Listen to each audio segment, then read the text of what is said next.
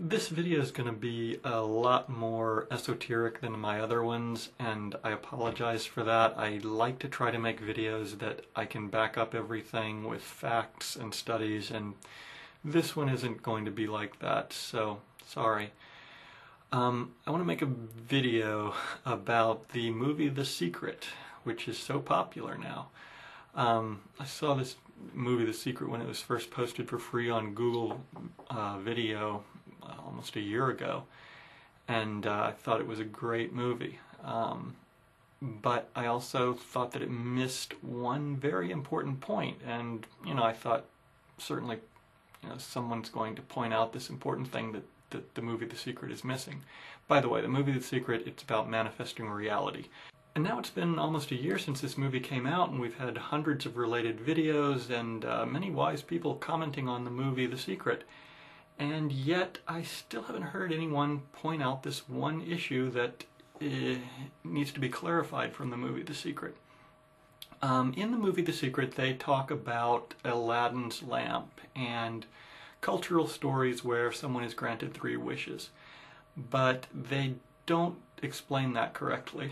And first of all, let me talk about folk stories and myths which recur around the world. Uh, these folk stories are a tremendous source of wisdom, of hidden wisdom, because a folk story is not a story told by one person, it's a story told by an entire society.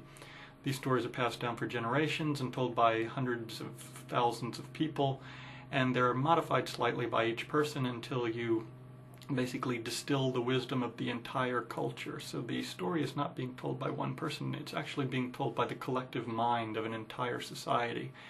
And there's an enormous amount of wisdom, of hidden wisdom in these folk stories.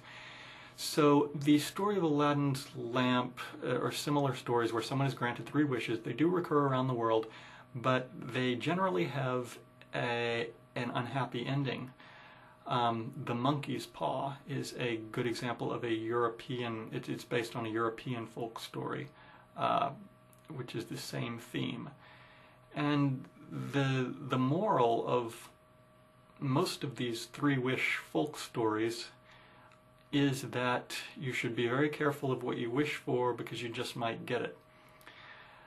You see, we all manifest reality based on a deluded view of the world. And if you are manifesting reality based on a deluded world view, then all you're going to do is increase your own delusion. You're basically going to increase your karma.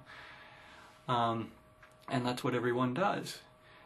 Uh, as, as the movie The Secret points out, Buddha said, all that you are is what you have thought how do you think we got here? If, if manifesting was so great, then why are we trapped in what's, uh, you know, a fairly restrictive and often, for many people, unhappy world? They got here by manifesting reality, and if you learn to manifest reality but you don't learn a correct worldview, then you're just going to manifest a deluded uh, world and an unhappy world. Uh, you're just going to increase your karma. And the movie The Secret really misses this. Uh, in fact, they even talk about, oh, you can manifest a sports car and you can manifest money. Well, you know, look at these folk stories and look what happens to people who manifest money. It always ends badly. And that's based on the collective wisdom of of an entire society, they subconsciously know that if you wish for things based on a deluded worldview, then you will just cause more problems for yourself.